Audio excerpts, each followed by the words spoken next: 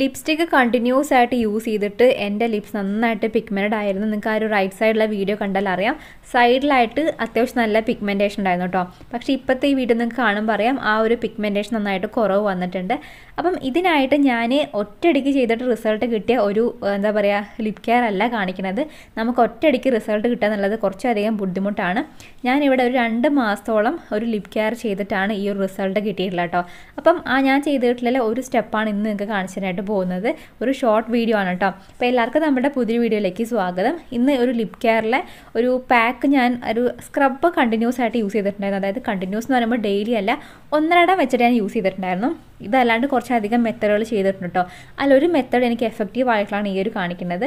ഇതിനായിട്ട് ഞാൻ ഇവിടെ എടുത്തിട്ടുള്ളത് മഞ്ഞൾപ്പൊടിയാണ്. നമുക്ക് കുറച്ച് മഞ്ഞൾപ്പൊടി മതി കേട്ടോ അതുപോലെ തന്നെ പിന്നെ ഇതിലേക്ക് ചേർത്ത് കൊടുക്കുന്നത് ഷുഗറാണ് അപ്പം നമ്മൾ അത്യാവശ്യം ഭയങ്കര തരിയുള്ളതാണെങ്കിലും കുഴപ്പമൊന്നുമില്ല. പക്ഷേ നമ്മൾ സ്ക്രബ് ചെയ്യുന്ന നേരത്ത് കുറച്ചൊന്ന് അലുത്തതിന് ശേഷം സ്ക്രബ് ചെയ്താൽ മതി.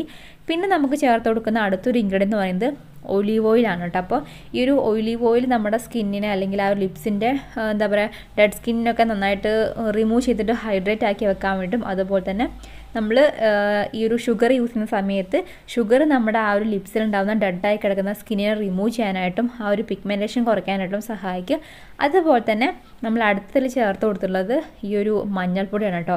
മഞ്ഞൾപ്പൊടി നമ്മുടെ എന്താ പറയുക മുഖത്താണെങ്കിലും ചുണ്ടിലാണെങ്കിലും ഒക്കെ ഉപയോഗിക്കുന്നത് വളരെ നല്ലതാണ്. ഡാർക്ക് കളറായിട്ടുള്ള ആ ഒരു ഏരിയ ഒക്കെ എന്താ പറയുക ഫേസിലാണെങ്കിൽ നമുക്ക് ഡാർക്ക് സ്പോട്ടിനെയൊക്കെ റെഡ്യൂസ് ചെയ്യാനായിട്ട് വളരെ ഹെൽപ്പ് ചെയ്യും. അതുപോലെ തന്നെയാണ് നമ്മൾ ഈ ഒരു മഞ്ഞൾപ്പൊടി ചുണ്ടിൽ യൂസ് ചെയ്യുന്ന സമയത്ത് റെഗുലറായിട്ട് ഉപയോഗിക്കുമ്പോൾ നമുക്ക് ആ ഒരു ചുണ്ടിലുണ്ടാകുന്ന പിഗ്മെന്റേഷൻ ഇല്ലാതെ നന്നായിട്ട് കുറയ്ക്കാനായിട്ട് ഹെൽപ്പ് ചെയ്യും കേട്ടോ. അപ്പോൾ ഏകദേശം ഇതുപോലെ ആക്കി എടുത്തിട്ടുണ്ട്. നമ്മൾ കുറച്ച് നേരം ഇങ്ങനെ യൂസ് ചെയ്ത് അല്ലെങ്കിൽ മിക്സ് ആക്കി കഴിയുന്ന സമയത്ത് കുറച്ചത് മെൽറ്റായിട്ട് വരും കേട്ടോ എന്നിട്ട് വേണം നമ്മളത് യൂസ് ചെയ്യാനായിട്ട്. അല്ലാണ്ട് ഭയങ്കര തരിയോടെ നമ്മൾ കൊണ്ടിട്ട് അപ്ലൈ ചെയ്യുകയാണെങ്കിൽ ഇട്ടൊരതാണെങ്കിൽ ചിലപ്പോൾ പൊട്ടാൻ ചാൻസ് ഉണ്ട്. സോ നമ്മൾ കെയർ ആയിട്ട് വേണം ചെയ്യാനായിട്ട്. അപ്പോൾ ഞാൻ കണ്ടു ഇത് എങ്ങനെ ഉപയോഗിക്കുന്നതെന്ന് കാണിച്ചു തരാം. ഇതുപോലെ നമ്മളെ ലിപ്സിലിട്ടിട്ട് നന്നായിട്ട് ഇങ്ങനെ റബ്ബ് ചെയ്യണം കേട്ടോ അതായത് നന്നായിട്ട് തന്നെ മസാജ് കൊടുക്കണം. വെറുതെ നിങ്ങളിത് ലിപ്സിൽ അപ്ലൈ ചെയ്തിട്ടിട്ട് പിന്നെ പോയിട്ട് വാഷ് ചെയ്യുന്ന ആ ഒരു പരിപാടിയല്ല. നമ്മൾ ഇതുപോലെ ഒന്നരാടം കുളിക്കുന്നതിന് മുൻപായിട്ട് ലിപ്സിൽ നന്നായിട്ട് ഇങ്ങനെ മസാജ് ചെയ്ത് അല്ലെങ്കിൽ നന്നായിട്ട് സ്ക്രബ് ചെയ്തെടുക്കുന്ന സമയത്ത് ഈ ഒരു മൂന്നിന്റെ ഗുണങ്ങൾ നമ്മളെ ലിപ്സിന് കിട്ടും കേട്ടോ. നമ്മൾ ഇതിൽ എന്താ പറയുക ഈ ഒരു ഓയിലൊന്നും ചേർക്കാണ്ട് അല്ലെങ്കിൽ എന്തെങ്കിലും ഡ്രൈ ഇൻഗ്രീഡിയൻസും പിന്നെ വാട്ടർ അങ്ങനെ എന്തെങ്കിലും മിക്സ് ചെയ്യുന്ന സമയത്ത് നമുക്ക് ലിപ്സ് ഡ്രൈ ആവാൻ ചാൻസ് ഉണ്ട്. അതുകൊണ്ടാണ് നമ്മളിവിടെ ഒലീവ് ഓയിൽ യൂസ് ചെയ്ത് കൊടുത്തിട്ടുള്ളത്. അപ്പോൾ ഒലീവ് ഓയിൽ നമ്മൾ യൂസ് ചെയ്യുന്ന സമയത്ത് ആ ഒരു ഡ്രൈനെസ് ലിപ്സിന് വരികയല്ല നന്നായിട്ട് മോയ്സ്ചറൈസ് ആയിരിക്കാൻ വേണ്ടി ഹെൽപ്പ് ചെയ്യുന്നതായിരിക്കും കേട്ടോ.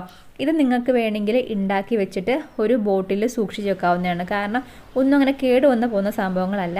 അപ്പോൾ നമ്മൾ ഒരു ബോട്ടിൽ സൂക്ഷിച്ചിട്ട് നമുക്ക് രണ്ട് ദിവസം അല്ലെങ്കിൽ മൂന്ന് ദിവസമൊക്കെ ആയിട്ട് ചെയ്യാട്ടോ ഇല്ലേ അങ്ങനെ ആ ഒരു ഷുഗർ പെട്ടെന്ന് അലക്കണില്ല.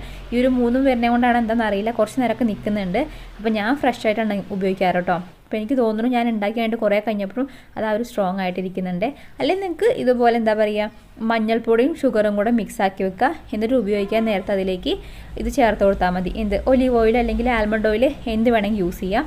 അപ്പോൾ നന്നായിട്ട് നമ്മൾ സ്ക്രബ് ചെയ്തെടുത്തതിന് ശേഷം ഞാൻ എന്ത് ചെയ്യുക ഒരു മോയ്സ്ചറൈസർ അല്ലെങ്കിൽ ലിപ് ബാം ആണ് ഇവിടെ അപ്ലൈ ചെയ്യുന്നത്. മോയ്സ്ചറൈസർ അല്ല ഇത് ഏതായിരുന്നു ബ്രാൻഡ് ഞാനിപ്പോൾ പുതുതായിട്ട് മേടിച്ചിട്ടുള്ളതാണ് ഇതിന്റെ റിവ്യൂ പിന്നെ ചെയ്യാം കേട്ടോ. അപ്പോൾ ഇതിന്റെ റിസൾട്ട് എങ്ങനെയുണ്ടെന്ന് പിന്നെ പറഞ്ഞുതരാം. ഈ ഒരു ലിപ് ബാമിന്റെ കേട്ടോ. അപ്പോൾ നമ്മൾ ഇതുപോലെ ഒന്നരാടം ചെയ്യുകയാണെങ്കിൽ ഒരു രണ്ട് മാസമൊക്കെ ആകുമ്പോഴത്തേക്കും നല്ല റിസൾട്ട് കിട്ടുന്നതായിരിക്കും.